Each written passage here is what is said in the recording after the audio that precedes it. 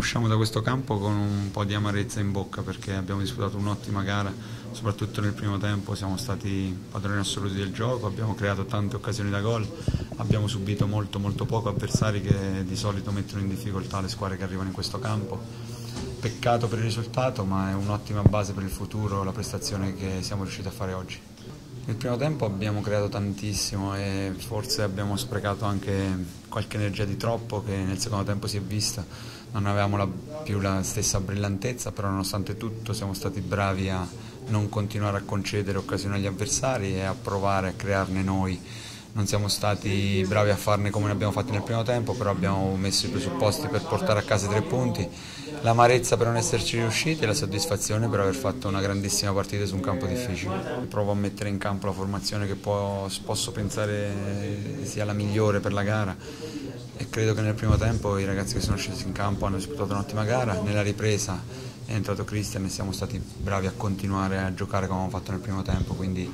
bravi tutti i ragazzi perché ne ho tanti bravi a disposizione e ovviamente di volta in volta sta a me fare delle scelte per provare a portare a casa sempre dei risultati positivi. L'ho visto bene in settimana, la società mi ha dato il via libera per se avessi voluto mh, avrei potuto utilizzarlo e avendo disputato una settimana molto molto bella ho pensato di volerlo mettere in campo da subito e credo che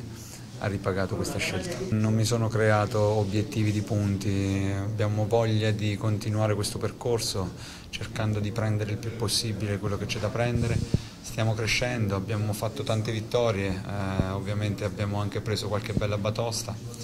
e mi auguro che nel tempo continuiamo a crescere per aumentare le prime e diminuire le seconde e provare ad essere protagonisti di un campionato difficilissimo. Adesso stacchiamo la spina, recuperiamo le energie, poi ci sarà un mese in cui ci saranno tante chiacchiere, non so cosa succederà, io faccio l'allenatore di una squadra